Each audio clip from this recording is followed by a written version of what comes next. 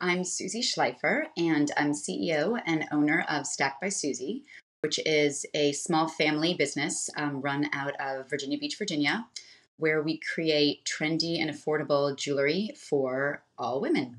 A few years ago, um, I was wearing these bracelets. I had these gemstone bracelets, and one of them broke.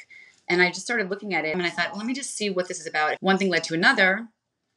People started asking me, friends, family. I started selling it to them people were finding out about us all over the country. So we needed some kind of a platform that would help us expand, and we found BigCommerce.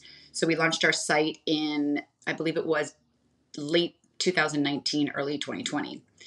Uh, my daughter started with making TikToks, which totally blew up our business. We sort of went viral. We research trends a lot.